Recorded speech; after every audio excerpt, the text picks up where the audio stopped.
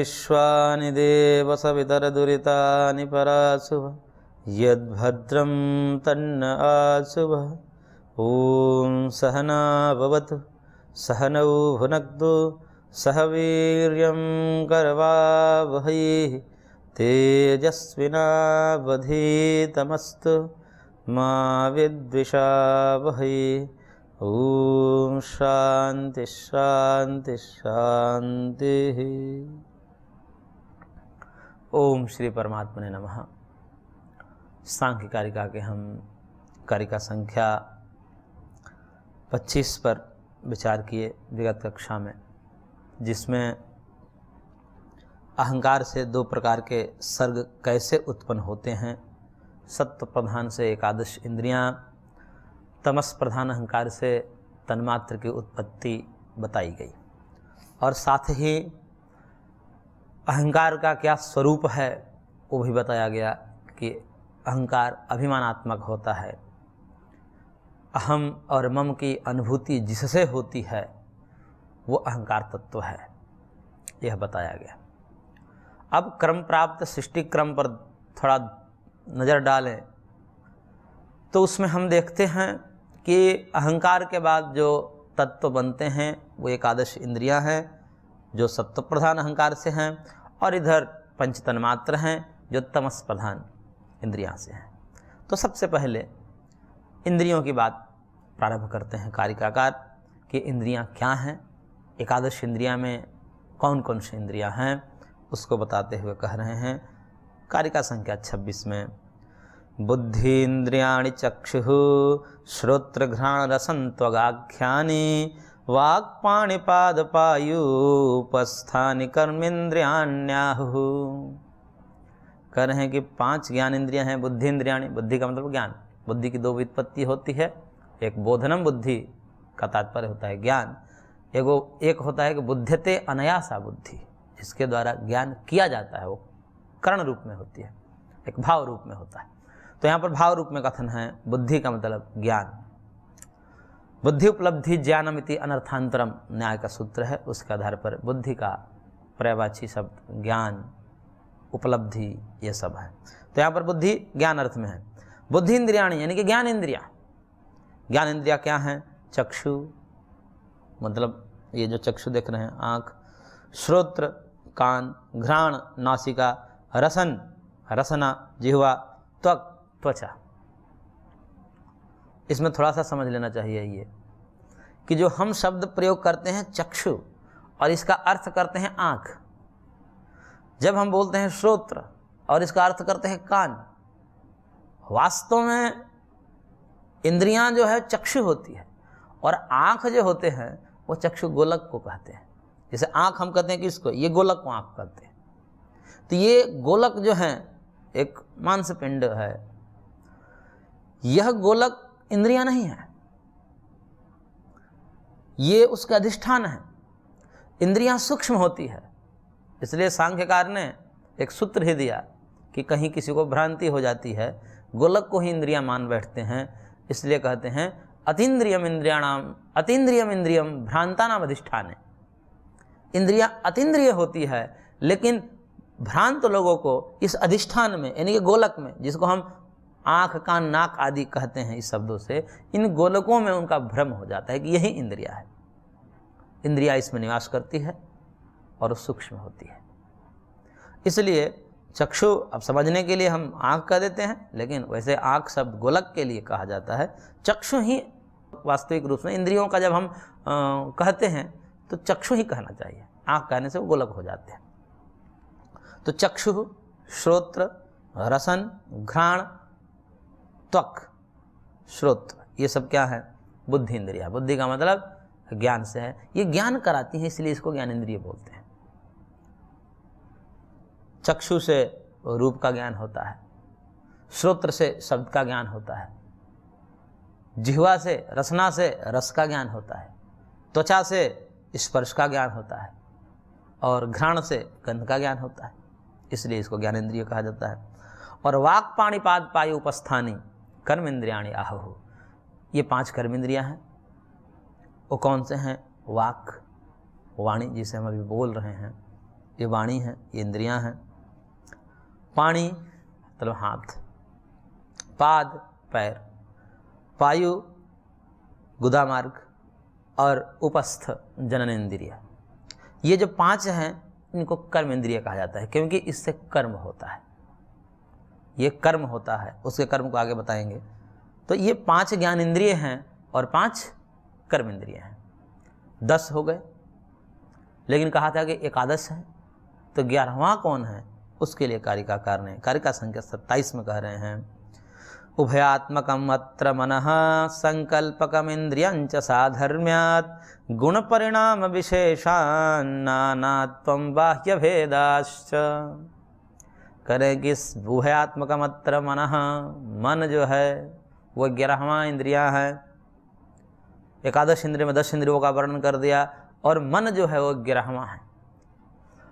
वो मन का क्या स्वरूप है? तो उसके लिए कह दिया, उभयात्मकम अत्र मन। यहाँ पर जो ग्यारहवा इंद्रियाँ हैं, वो मन है और वो उभयात्मक है। उभयात्मक का तात्पर्य होता है, उभय का मतलब दो होता है। दोनों प्रकार का होता है। दोनों प्रकार का तात्पर्य होता है कि दो प्रकार के अभी इंद्रियों का वर्णन किया गया पीछे, कर्म इंद्रिय और ज्ञान इंद्रिय। तो मन जो है, कर्म इंद्रियों के साथ जुड़ करके कर्म करवाता है और ज्ञान इंद्रियों के साथ जुड़ करके ज्ञान करवाता है। इसलिए मन दोनों प्रकार के इंद्रियों से जुड़ा होता है, इसलिए इसको उभयात्मक कहा जाता है। मन का संबंध दोनों तरफ़ होता है। अथवा इसको उभयात्मक को हम ऐसे भी कह सकते हैं कि मन आत्मा से भी जुड़ता है और मन इंद्रियों से भी जुड़ता है। इंद्रियों में सबको हम एक में ले लेते हैं। कर्म इंद्रियों और ज्ञान इंद्रियों को एक में ले लेते हैं। तो मन उधर आत्मा के साथ भी संबंधित रह करके आत्मा प्रेरित करता है उसे, मन को। और आत्मा के प्रेरणा को प्राप्त करके मन इंद्रियों के साथ जुड़ता है। तो मन का जुड़ाव दोनों तरफ़ से है, आत्मा की तरफ़ भी है इंद्रियों की तरफ़ भी है। जड़ की तरफ़ भी है, चेतन की तरफ़ भी है। तो इसलिए जड़ चेतन उभय के साथ संबंध होने के कारण इसे उभयात्मक कहा जाता है। जैसे कोटपाल होता है न्यायालय में। कोटपाल का संबंध दोनों तरफ़ होता है। क्योंकि जज की मर्यादा है कि सीधे सीधे आरोपी हैं या वादी प्रतिवादी, उनसे बात नहीं कर सकता। उसकी अपनी मर्यादा है, गरिमा। वो संकेत करेगा अपने निजी परिकर हैं उसके कि अमुक व्यक्ति को बुलाया जाए। वो फिर चिल्लाएगा, फला व्यक्ति हाजिर हो। तो वो जो कोटपाल का संबंध उधर जज के साथ भी है। जज के साथ उसकी कनेक्टिविटी है और उसके इशारों से वो काम करता है। और उसके इशारों को प्राप्त करके वह कोटपाल फिर जो है वादी प्रतिवादी की तरफ़ भी संबंधित होकर के उसे बुलाता है, भाई, आप चलिए, जल्दी आपकी पुकार हो रही है। तो इस प्रकार से ये जो बीच में काम कर रहा है कोटपाल की भांति, यही मन का काम होता है। मन दोनों तरफ़ है। इसलिए मन जो है एक ऐसा तत्व है, इस अध्यात्म में, इसी पर अध्यात्म काम करता है। यदि हम एक वाक्य में अध्यात्म को कहें तो मन को साधित करने की जो उत्कृष्ट मार्ग है, वो अध्यात्म है। मन को परिष्कृत करने के लिए, मन को स्वच्छ करने के लिए, मन को निर्मल करने के लिए, मन के संकल्प शक्ति दृढ़ करने के लिए, जो भी इसके शब्द हम प्रयोग करें, उसकी जो एक सर्वोत्कृष्ट साधन है, मार्ग है, वो अध्यात्म है। और जिसने मन को बस में कर लिया, मन के बस से ऐसा कहा जाता है कि मन एवं मनुष्याणाम कारण बंध मोक्षय ये मन ऐसा है कि व्यक्ति को बाँध दिया। ये मन के ही संकल्प विकल्प हैं, हमने मिथ्या संकल्प कर रखा है, इसी कारण से हम इस शरीर में बंध गए। और उसी संकल्प, जब एक ऐसा संकल्प धीरे धीरे संकल्प की प्रगल्भता होती है, और वो संकल्प जब ब्रह्माकार वृत्ति के रूप में परिवर्तित हो जाता है, निरंतर ब्रह्माकार वृत्ति, भगवतमय चिंतन चलता रहता है, वह वृत्ति इस सब जो माया के विकार हैं, जो हमारे ऊपर आवरण के रूप में पड़े हुए हैं, स्वरूप के, आत्मा के स्वरूप के ऊपर, मन के रूप में, शरीर के रूप में, इंद्रियों के रूप में, बुद्धि के रूप में, वो समस्त उस संकल्प बल ने उसको हटा देता है। वो एक संकल्प ही है, वो एक ज्ञान ही है। तो ज्ञान से मुक्ति भी हो जाती है और ज्ञान से बंधन भी हो जाता है। इस मन के संकल्प के बल पर ही। भाष व्यास भाष्य में मन के संकल्प का एक दृष्टांत देते हुए कहा गया है कि मन के संकल्प से ही शुक्राचार्य जी ने दंडकारण्य में पत्थर की बारिश करवा दी। मन के संकल्प से। उनके पुत्री के साथ दंड नाम का एक दुष्ट राजा था। उसने कुछ अनैतिक कार्य कर दिया और जब शुक्राचार्य जी को पता चला, क्रोधित हो गए। वहीं से बैठे बैठे संकल्प बल से और ऐसा उपद्रव मचाया कि सारे आसपास के पहाड़ टूट टूट करके उस नगर में गिरने लगे। ये क्या होता है? उन्होंने कहा, भाष्यकार ने कि ये कैसे संभव हो सकता है? शरीर से तो संभव हो नहीं सकता। मन की सांकल्पिक शक्ति से ही संभव है। और एक और उदाहरण देते हुए कहा कि जिस प्रकार से अगस्त ऋषि ने समुद्र को पी लिया था, शारीरिक दृष्टिकोण से तो संभव है ही नहीं, क्योंकि शरीर की संरचना और शरीर का आयतन सीमित है। उसकी अपेक्षा से समुद्र का आयतन ज़्यादा है। वो छोटे से शरीर में पूरा समुद्र का जल कैसे हो सकता है? ये तो संभव नहीं है। भौतिक दृष्टिकोण से संभव नहीं है। तो कह रहे हैं कि मन के संकल्प शक्ति के द्वारा उन्होंने सुखा दिए वाष्पीकृत कर दिया पूरा। लोगों को दिखा कि शरीर में जा रहा है, लेकिन संकल्प बल से जो है उन्होंने उड़ा दिया। तो अब ये, क्योंकि उन लोगों के जो मन है और जन्म जन्मांतर के तप, धर्म, त्याग के कारण इतना धर्ममय जीवन जीते थे और तप करते थे, उस तप और त्याग, धर्म के बल पर वो मन इतना स्वच्छ और निर्मल हो जाता था कि उनकी संकल्प शक्ति बहुत ज़्यादा होती थी। तो मन के संकल्प शक्ति, मन के दिव्यता मन के उत्कृष्ट कार्य के प्रति धर्म धर्म नियामक होते हैं। वही मन हमारा है। वो सामर्थ्य नहीं है। क्यों? क्योंकि हमारे मन में अधर्म के संस्कार ज़्यादा है। या ये कहें कि उस प्रकार के धर्म नहीं है, जिस प्रकार के ऋषि महर्षियों के धर्म थे, जो तप त्याग से अर्जित उन्होंने किया था। अन्यथा आज भी हमारा मन वही कार्य करने में सक्षम हो जाता। इसका एक ही कारण मानते हैं कि कहीं ना कहीं चित्त पर अधर्म का लेप है वो अधर्म का लेप यदि हट जाए पुरुषार्थ पूर्वक धीरे धीरे करके जन्म जन्मांतर चाहे कितना भी जन्म ले तो वो व्यक्ति आज भी उन सब सिद्धियों, उन सब ऐश्वर्य से युक्त हो सकता है। तो इस प्रकार से मन की बहुत महत्ता है अध्यात्म शास्त्र में। और ये आजकल तो सब मानने लगे। आजकल तो मन पर, मन की संकल्प शक्ति पर, संकल्प करवा करवा के इस पर बहुत सारे रिसर्च हो रहे हैं कि आप संकल्प करिए और उस संकल्प से जो है बहुत से कार्य हो जाते हैं। चाहे वो शारीरिक रोग की निवृत्ति हो या अन्य कुछ भी चीज़ हो, वो संकल्प से करवा देते हैं। एक ऐसा कहा जाता है, हमने कहीं वो सुनी थी बात कि एक व्यक्ति को ये कहा गया कि तुमको मृत्यु दंड दिया जाएगा। मृत्यु दंड के लायक था वो, इसलिए उसको मृत्यु दंड दिया गया। लेकिन उस पर एक रिसर्च किया डॉक्टरों ने और कहा कि मृत्यु तो इसको हो ही रही है। क्यों न चेक कर लें? क्यों एक हम नया रिसर्च कर लें? मरना तो है इसको। उसको कहा गया कि देखो, तुमको मृत्युदंड दिया जाएगा और वो मृत्युदंड तुम्हें फांसी से नहीं दी जाएगी अभी तो जहरीले सांप से कटवा कर दी जाएगी। अब उसके मन में है कि मरना है, सांप कटवाएँगे मरेंगे हम, क्योंकि हमारा अपराध है, सब निश्चित है। और उसको सुलाया गया बेड पर, उसको दिखाया नहीं गया। आँखों पर पट्टी बाँध दी और धीरे से उसके पैरों में सुई चुभो दी गई। उसने मन में संकल्प कर लिया और मन में ये मान लिया कि हमको कटवा दिए सांप ने। सांप से कटवा दिया गया हमको, ये संकल्प कर लिया, ये मान लिया और उसकी मान्यता के आधार पर यह हुआ कि वो कुछ ही क्षणों में मृत्यु को प्राप्त हो गया और मर गया। और मरने के बाद उसके शरीर से जो सैंपल लिए गए रक्त के, उसमें कहा जाता है कि विष के अंश पाए गए। जैसे सांप के काटने से जो तत्व फैलते हैं रक्त में, वही तत्व उसमें मिले। अब लोग आश्चर्यचकित कि भाई ये कैसे हो जाए विष तो गया नहीं अंदर, लेकिन विष फैल कैसे गया? तब वहाँ वैद्यों ने कहा कि मन ने तैयार कर दिया, मन की संकल्प शक्ति ने उसको तैयार कर दिया उसी प्रकार से। क्योंकि वो मान लिया, और मानना इतना हो गया कि वो मान ही लिया कि सांप ने तो मेरे काट लिया, क्योंकि अब देखो सांप दर्द हुआ, और कहा गया था कि मरा, अब मरना ही है। ये मान लिया और मर गया। विष फैल गया उसके शरीर कहते हैं कि यह मन के कारण है।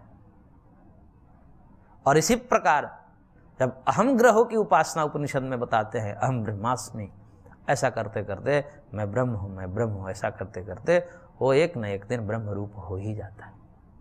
वो भगवान से तदात्म्य हो ही जाता है। तो ये सब क्या है? चिंतन के परिणाम है, निरंतर चिंतन। हमारा चिंतन किस प्रकार का है? हम अपने चिंतन का विषय किसको बनाए हुए हैं? उत्कृष्ट व्यक्ति को बनाए हुए हैं अथवा निकृष्ट व्यक्ति को बनाए हुए हैं? उत्कृष्ट व्यक्ति हमारे चिंतन का विषय बनेंगे, हम वैसे ही बनते जाएँगे। रामकृष्ण आदि हमारे सामने रहेंगे, उनका चरित्र हमारे सामने रहेगा ऋषि मुनियों का चरित्र सामने रहेगा, हम वैसे ही बनेंगे।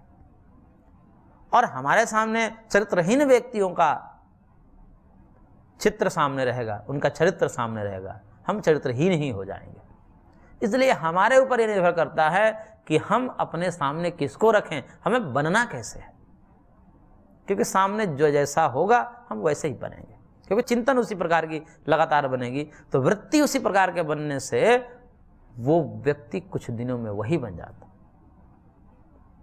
एक और कहानी हमने सुनी थी गुरुजनों के माध्यम से, कि उसमें ये कहा गया था कि एक व्यक्ति को एक साधु ने उपदेश दिया, वो व्यक्ति बहुत पीछे पड़ गया कि भाई हमको कुछ ज्ञान दो ज्ञान दो ज्ञान दो। वो अधिकारी नहीं था ज्ञान के। परंतु जब ज़्यादा पीछे लग गया तो उन्होंने कहा कि भाई ठीक है तो तुमको मंत्र देता हूँ। इसका जप करना। उन्होंने मंत्र दिया कि तुम रोज़ जो है निरंतर चिंतन ये करना कि मैं बैल हूँ, मैं बैल हूँ, मैं बैल हूँ, मैं बैल हूँ। यही मंत्र है तुम्हारे लिए। गुरु जी की बाबा वाक्यम प्रमाणम गुरु जी के वाक्य हैं, प्रमाण हैं मान करके, वो व्यक्ति एक गुफा में घुस करके और निरंतर लीन हो गया। मैं बैल हूँ, मैं बैल हूँ करते हुए, उसके अर्थों का चिंतन करते हुए, बैल के स्वरूप का चिंतन करते हुए, वो जो है लीन हो गया। बड़ी ख्याति हुई आसपास में कि गजब के एक साधक हैं, गुफा से बाहर ही नहीं निकलते। साधु को पता चला कि भाई साहब वो इतना तपस्वी हो गया कि बहुत हल्ला हो गया उसको। और उनको पता था कि हमारे पास आया था, वो हमारे ही मंत्र का कहीं जब करके अनिष्ट को पुनः प्राप्त कर ले, उनको भय हो गया कि हम उसने जो है मंत्र, मैं बैल हूँ का थोड़ा जब किया जाता है। वो गए और कहे कि मैं महानुभाव, बाहर निकलिए बाहर निकलिए, आपसे हम मिलना चाहते हैं। तो वो सुना वाक्य को और कहा कि मैं नहीं निकल सकता। तो कह रहे, क्यों नहीं निकल सकते? निकलिए, हम बाहर खड़े हैं। तो कि नहीं, मेरे सिंह जो है, टकरा जाएँगे और दरवाज़ा छोटी है। कहते हैं कि उस चिंतन का यह फल था कि वो अपने को बैल ही मानने लगा और कह रहा है कि मेरा सिंह जो है, टकरा जाएगा मैं बाहर नहीं निकल पाऊँगा। तो ये चिंतन का परिणाम, अब इसको कोई माने या ना माने, ये तो अनुभव का विषय है। कर लीजिए। किसी एक मंत्र को जो है, श्रद्धापूर्वक उसको आवृत्ति करके देख लीजिए, उसका क्या परिणाम होता है जीवन में। ये तो सामने है। इसमें कोई बड़ी लंबी चौड़ी बात नहीं है, कोई अदृष्ट कल्पनाएँ नहीं है। कोई भी कर सकता है और देख सकता है श्रद्धापूर्वक। लेकिन हाँ मन के एक कोने में यदि आप मान कर ये रखेंगे कि नहीं, मैं जब कर रहा हूँ, लेकिन मैं ये मिथ्या जब कर रहा हूँ, मैं वो तो हूँ नहीं लेकिन कर रहा हूँ, इस भाव से करेंगे, फिर नहीं होगा। उस पर तदात्म में होना पड़ता है और ये मानना पड़ता है, मैं वही हूँ। और फिर उस चेतना से युक्त होना पड़ता है, मन में यही चिंतन बनानी पड़ती है कि मैं वही हूँ। उस मंत्र और उस मंत्र के विषय के साथ तदात्म में होना पड़ता है। यदि ऐसा हो तो अवश्य संभव है। इसलिए मन की शक्ति अपार है। मन के हारे हार है, मन के जीते जीते तो सामान्य कहावत भी है, मन एवं मनुष्याणाम कारणम बंध मोक्षयो। हो ये मन ही मनुष्य के सुख का भी कारण है और मन ही मनुष्य का दुख का कारण है। ये देखिए, सब चिंतन का परिणाम है। कभी कभी तो ऐसा लगता है कि ये जगत चिंतन का परिणाम है। हमारा जो जगत है, प्रत्येक व्यक्ति का अपना व्यक्तिगत जगत है एक। उस जगत में निवास करता है। समान रूप से तो सब जगत एक ही जगत में सब निवास करते हैं। लेकिन एक ही जगत में सब रहते हुए भी एक ही जगत में नहीं रहते। क्योंकि जगत तो एक ही जैसा है सबके लिए, लेकिन सब सुख दुख अलग अलग भोगते हैं। एक ही समय है, एक ही समय में कोई सुखी है, कोई दुखी है, कोई मोही है। तो इस प्रकार से हमें कहना पड़ता है कि एक जगत में रहते हुए भी सबके अलग अलग जगत है। व्यक्तिगत रूप से अलग अलग सबके जगत हैं। उस जगत में सब निवास करते हैं।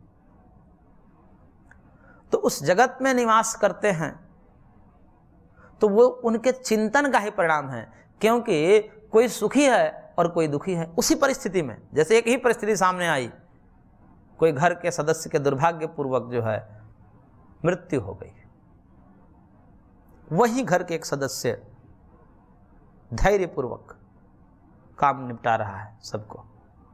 वो विचलित नहीं है, उद्विग्न नहीं है। वही कुछ व्यक्ति ऐसे लोटपोट हो गए हैं कि उठने में भी असमर्थ है। उनको उठाना पड़ रहा है। वो संभाल नहीं पा रहे हैं अपने शरीर को भी। परिस्थिति एक ही है। जिसकी मृत्यु हुई है, उस मृतक के साथ समस्त सदस्यों का संबंध है। ऐसा नहीं है कि जो नहीं रो रहा है जो अपने आप को उस प्रकार से लोटपोट नहीं होने दिया, उसको दुख नहीं है, ऐसा नहीं है। उसको भी दुख होता है। परंतु चिंतन के बल पर वो अपने शरीर को खड़ा रखता है। अपने मन को खड़ा रखता है और फिर सबको समेटता है।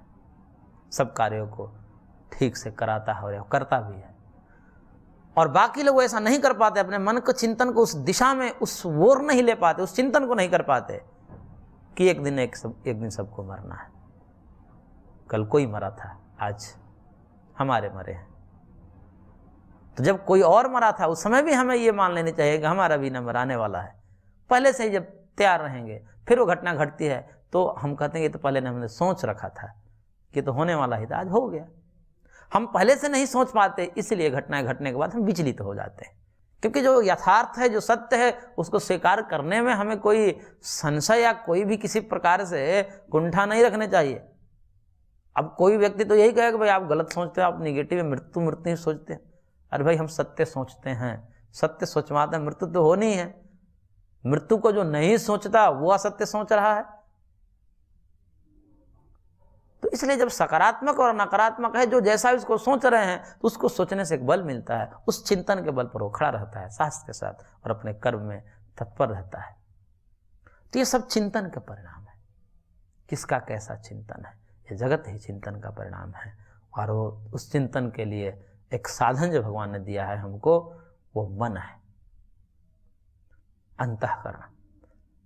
इसी अंतकरण मन के बल पर कैसे चिंतन करें? एक व्यक्ति ऐसा चिंतन करता है कि वो सब जगत के लाडले हो जाता है। सब जगत उसे प्रीति करते हैं। वो चिंतन का फल है। वो क्योंकि सबको अपना मानता है। ईशावास्यमिदम सर्वम। सब हमारे हैं। हम सबके हैं। इस भावना से वो तब प्रोत रहता है और उसी प्रकार व्यवहार करता है तो सबका प्यारा बन जाता है। सब उससे प्रेम करते हैं। और एक वही व्यक्ति जो दुर्दांत अपराधी है। ये मेरे नहीं है, मैं इसको उड़ा दूँगा। और उड़ाता रहता है, रास्ते से हटाता रहता है। उससे सब भयभीत होते हैं, डरते हैं। उसके चिंतन का परिणाम, उस, वो क्या मान रखा है? ये मेरे नहीं है, ये मेरे प्रतिकूल है। मैं इसको बर्दाश्त नहीं कर सकता। इस चिंतन के परिणाम से उसके सामने से भयभीत भयभीत रहते हैं और स्वयं भी भयभीत रहता है। क्योंकि जो दूसरे को भय प्रदान करता है, वो स्वयं भी भयभीत रहता है। और जो दूसरे को अभय प्रदान करता है, वो स्वयं भी भय से रहित रहता है। तो इस प्रकार से मन की संकल्प शक्ति को शास्त्र ने बहुत ही गहराई से अध्ययन किया और कार्यकाकार ने उभयात्मकम अत्र मन अत्र मन उभयात्मकम कह करके संबोधित किया। इसको हम और आगे विस्तार से वर्णन करेंगे। आज की कक्षा को हम यहीं पर विराम देते हैं। शेष अगले अंक में।